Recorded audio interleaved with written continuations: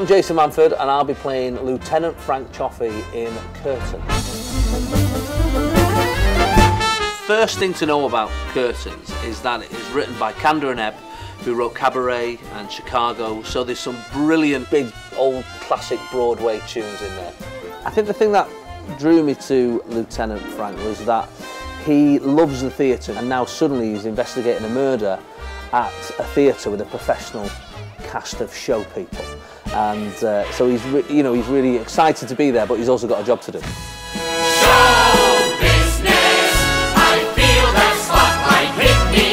I think everybody loves a whodunit, you know, whether it's, you know, Columbo or Murder, She Wrote. The musical has got a, a taste of that. I feel like I'm channeling a bit of Columbo.